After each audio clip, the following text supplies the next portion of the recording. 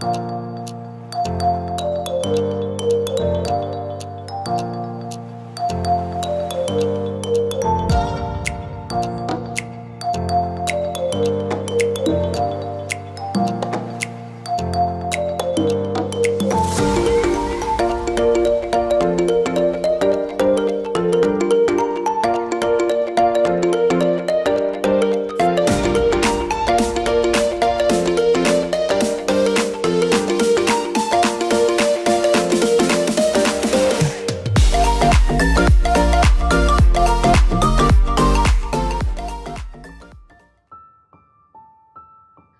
Mi accorgo di star fissando un libro sul comodino al mio fianco. Eppure adesso noto particolari che mi erano sfuggiti, poi capisco di cosa si tratta, riesco a leggere da vicino.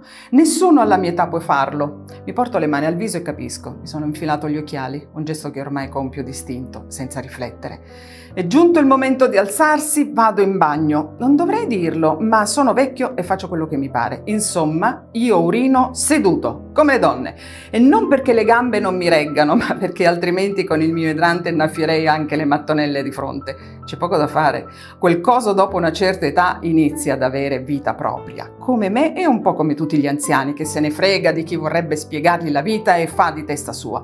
L'integrità morale, la solidarietà, la cultura e il talento sono nulla di fronte alla pelle in carta pecorita, le macchie sulla testa e le mani tremolanti. Il rispetto è un'arma che permette all'uomo di raggiungere una meta per molti inarrivabile. Mi chiamo Cesare Annunziata, ho 77 anni e per 72 anni e 111 giorni ho gettato nel cesso la mia vita. Poi ho capito che era giunto il momento di usare la considerazione guadagnata sul campo per iniziare a godermela sul serio. Cari lettori, ben ritrovati. Oggi vi parliamo di un romanzo del 2015 ambientato a Napoli, La tentazione di essere felici, dal quale è stato tratto un film con la regia di Gianni Amelio. La tenerezza, candidato al Davide Donatello come miglior film e con Renato Carpentieri nel ruolo di protagonista, oltre che con Elio Germano e tanti altri ottimi attori. L'autore del romanzo è Lorenzo Marone, nato a Napoli nel 1974. Con la tentazione di essere felici ha vinto il premio Stresa nel 2015 e l'ha visto tradotto in ben 17 paesi. Il protagonista del libro è Cesare Annunziata, geometra in pensione, si avvicina agli 80 con pochissima voglia di invecchiare e di redimersi dai suoi numerosi peccati e peccatucci. È vedovo con due figli, un maschio e una femmina, e ha un nipotino che accudisce occasionalmente, ma il ruolo di nonno non lo entusiasma. Abita in una palazzina del Vomero e ha come vicini un vecchio amico rintronato e un'anziana gattara in picciona. Uomo con grande senso dell'umorismo, sarcastico e disincantato, donnaiolo ed egoista, alla luce di nuove ed inaspettate dinamiche familiari, deve riconsiderare i suoi rapporti, trovandosi a ripercorrere e valutare episodi della sua vita passata con un nuovo metro di giudizio. L'arrivo di una giovane coppia di nuovi vicini gli rivelerà un aspetto di se stesso che non aveva mai sospettato di avere e lo porterà a revisionare tutta la sua scala di valori. Ci sono vite lineari e altre più tortuose, la mia di sicuro appartiene alla seconda categoria. Poche volte ho saputo davvero ciò che desideravo e come raggiungerlo, per il resto ho navigato sempre a vista. Il fatto è che fin da giovane ho capito che per rincorrere un sogno devi essere pronto a sacrificare qualcosa, fosse anche il tempo libero, e io non ho mai voluto privarmi di nulla, tantomeno del tempo libero. Molti dei miei amici di scuola sono finiti a fare ciò in cui credevano, anzi ciò che per lo più desideravo nei loro cari, i miei genitori invece non avevano grandi sogni per il sottoscritto, anche perché di sogni, credo, non gliene restavano troppi. Erano già stati quasi tutti realizzati dai miei due fratelli maggiori. Così se oggi rimpiango di non aver avuto una vita professionale degna di questo nome, almeno non me la devo prendere con i fantasmi di chi non c'è più, anche se sarebbe più comodo.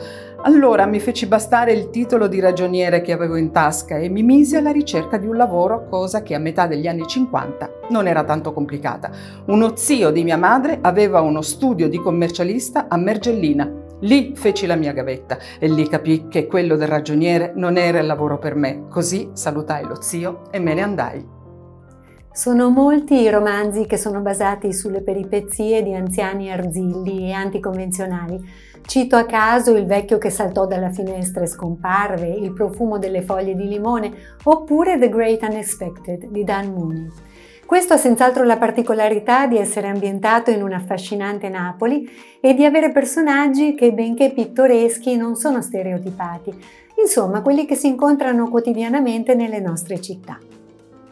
Esco sul balcone e resto a guardare le strade che si srotolano sotto i miei piedi. In realtà a Napoli più che la vista serve l'udito ed è una città che si svela attraverso il suono. Nelle viuzze di Chiaia, per esempio, le sere d'estate si riescono ad ascoltare tacchi delle signore che camminano sicure sui ciottoli, qualche risolino in lontananza o due bicchieri che si toccano appena dietro il vicolo. Posillipo invece sembra muta, con le strade ampie e deserte che si dipanano silenziose sulla collina, mentre la città, poco più giù, appare ovattata. Devi sapere ascoltare con attenzione vagiti dei quartieri nobili se vuoi imparare a conoscerli. Nel centro storico invece bisogna saper distinguere, prestare attenzione solo a ciò che interessa, separare i suoni come le tracce di una canzone da mixare. Così puoi gustarti il vocio degli studenti che vagano fra i vicoli antichi, il frastuono di posate che zampilla dalle trattorie, le tante campane che battono la domenica mattina, il richiamo dei venditori ambulanti, la voce rauca e malferma di un vecchio che suona la fisarmonica ai piedi di una basilica sprangata e dimenticata. Per gustarti tutto ciò, devi però cancellare il ronzio dei motorini che infestano le strade, le urla di donne che s'azzuffano per un non nulla, la voce di un neo melodico che esplode dai finestrini di un'auto. All'epoca mi vedevo con una ragazza a pochi metri da qui, anzi mi vedevo non rende l'idea, ne ero proprio innamorato. Io e l'innamoramento ci siamo subito piaciuti e con il sentimento successivo, quello che la gente chiama amore, che non è mai scattata la scintilla. Cesare ha quel mix di scontrosità e bisogno di tenerezza che lo rende disarmante.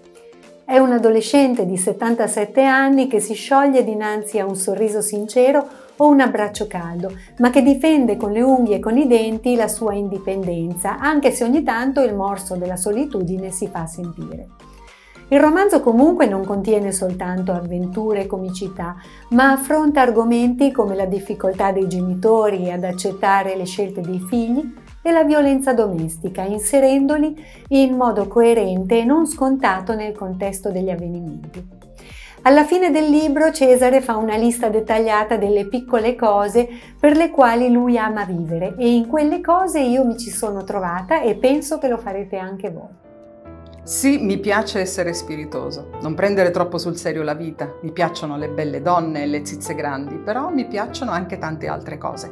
Mi piace quando il libro mi attende sul comodino, mi piace palpare la carne e i pesci crudi, mi piace il vino rosso che si aggrappa al bicchiere, mi piace un vecchio gozzo scrostato, mi piace l'odore dei bambini appena nati, il suono lontano di un pianoforte, mi piace il rumore della ghiaia calpestata e le strade che si dipanano come torrenti fra i campi, mi piace il Vesuvio che mi fa sentire sentire a casa. Mi piace infilare i piedi sotto la sabbia, mi piace il calcio la domenica pomeriggio, l'odore di una saponetta nuova, i vetri appannati nelle giornate fredde. Mi piace quando una donna ti dice ti amo con gli occhi, mi piace il silenzio delle sere d'estate e il rumore della risacca di notte. Mi piace il cuoppo di alici fritte che vendono di fronte alla galleria di Dante, mi piace il profumo dei capelli delle donne. Mi piace il borbottio della caffettiera sul fuoco, mi piace lo sguardo curioso del turista che osserva la mia città. Mi piace la puzza di pesce di un vecchio peschereccio incrostato di ruggine e la luna che dipinge in acqua la scia per raggiungerla. Mi piacciono le vecchie canzoni che ti bloccano il respiro. Alla fine del romanzo l'autore offre una divertente intervista immaginaria fatta da un ipotetico Proust all'autore e al suo protagonista e più avanti offre due brevissimi racconti. Vi lascio con questa frase di Cesare Annunziata. L'essere umano è un maestro nel girare a vuoto pur di non raggiungere l'obiettivo che lo terrorizza. Vi saluto e vi do appuntamento alla prossima puntata.